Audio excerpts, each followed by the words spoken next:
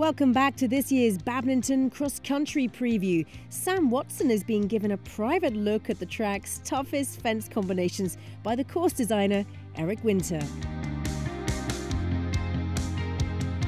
This is fence 19, the Nyetimber Heights. Brush at the top of the bank and then some angled brushes after.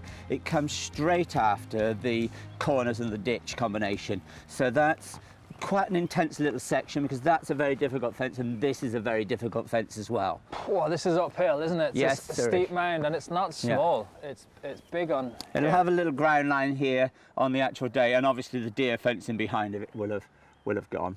And are you um, the first person to give us a triple bounce or what's going on on the other the other side here?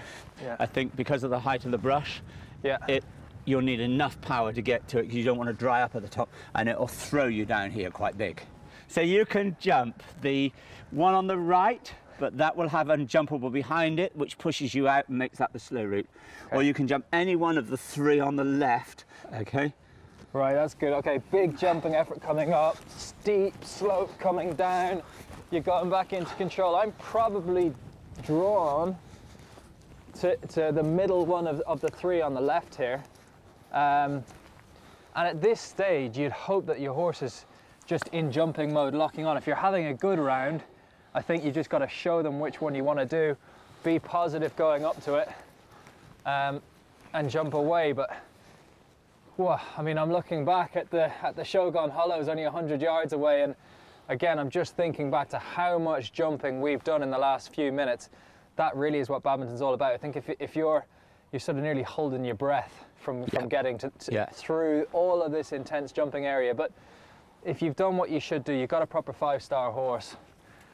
Yeah, you hope you can just get through here nice and positively, but We've done a lot it's interesting that because I walked with Lucinda Green the other day and, and she was going around there a little bit, breaking that line up more and coming to this one.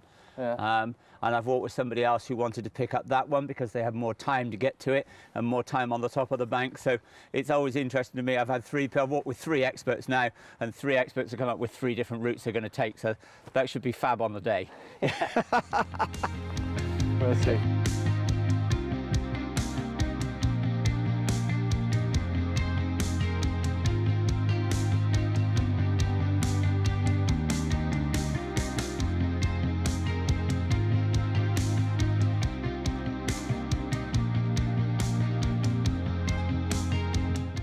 This is 25, the L200 Lake. It's probably the last of the really big uh, twisty turny sort of fences. The rest of them, you know, are big enough five star fences, but they, they just come up with a little bit more flow. Um, I've pulled the logs slightly further back last year so they land on the dry ground. And then we've put this little bit of brush on the top just to help the horses jumping in. Yeah, they land on the, the, the dry on the far side, but they're not going to know it from this side. So it just, it really gives that imposing feel of you're jumping into the, the badminton lake again. Yeah, you don't want to be too fast this or you'll miss the bank on the far side.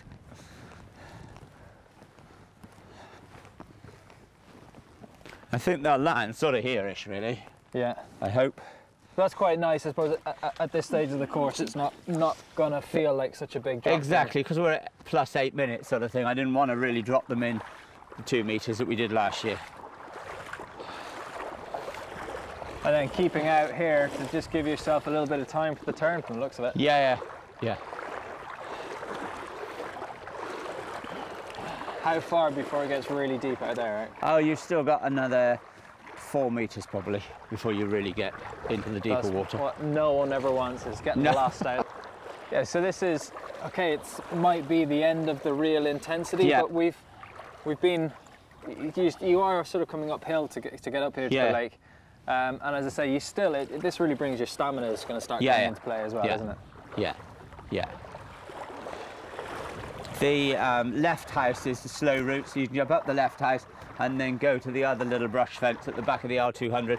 But you've got two jumping efforts to jump this, whereas uh, you've got three jumping efforts. You've got the house, the nest, and then the other uh, fence. Whereas this one, there's just the two efforts, but a much more testy line to this because to jump up that step and turn is. Yeah, it's a, it's a, it's a big jump out of here. Still. Yeah, it is. Yeah. Um, and you know, there's, there's quite a lot of water, and they always seem to, you know, they, they don't land with a huge amount of momentum when they get no, up on that. No, there's a little lip beyond the step which just crushes your stride slightly. Yeah, this is a good question, Eric. Yeah. I, I think I think that that turn in the water is is absolutely key. You've got time out there, but Yeah. you really need to be Yeah. using it. You don't want to be spending too long getting your knitting back together.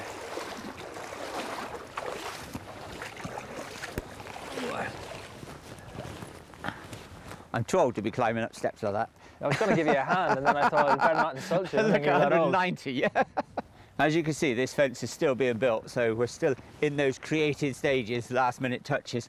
Um, Alan's built four Olympics, so that's quite impressive. You've ridden at that many, you've been doing well. So we're gonna we're gonna just probably get up just to the edge of the step here. Not gonna get a huge st stride to start with, probably about three and a half yards. And then it looks like you've brought a Beecher's Brook from Aintree here in a, in a narrow form, but you've got one more stride to to really punch up and attack that big piece yeah, of timber. Yeah, it's a big old fence. Yep. Just making it narrow. It'll have a well. bit of give in the top of it. It'll be nice and soft anyway. How what how how much depth have we Uh, it's 160. This is only 90 centimetres high, um, but it's 160 across the top of it. It's the last fence that we really asked that sort of power question. Um, from here on, those fences come up uh, to get you home a little bit more in a rhythm and, and without so much turning and twisting. Well, after the lake riders have eight more fences and 12 jumping efforts before they hopefully reach the finish line in the main arena, which is where we catch up with Sam. Well, Sam, you've been around the course with Eric. Now he's not here. You can tell me what you really think. What, what was it like, do you think? Yeah, it's decent. It's it's plenty big enough. Um, it's back to 12 minutes. I, I think it is back to being the, the biggest, probably most physically demanding track again. A lot of jumping. I, I, would, I would call a lot of power jumping, and a lot that the riders can't really prepare for. You know, there's not that many what I would call arena fences where you could go and oh, I'll, I'll build out my arena at home. There's a lot of footwork. I think that the horse that's going to go around this course and enjoy it is the horse that loves cross country, and that's really what it should be about. Well, before we looked at it, you said that you thought Ingrid had the best chance of winning this year. Do you stand by that, having seen the course? Yeah, I think she's got the course experience, and the horse has that bit of mileage that I think will help him with his stamina.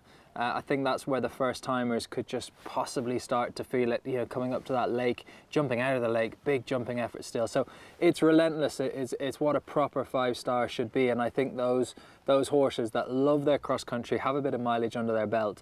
Um, I think they could they could enjoy themselves around here. Well, thank you for being our expert on the course here for Badminton 2019 and good luck with everything you do this year.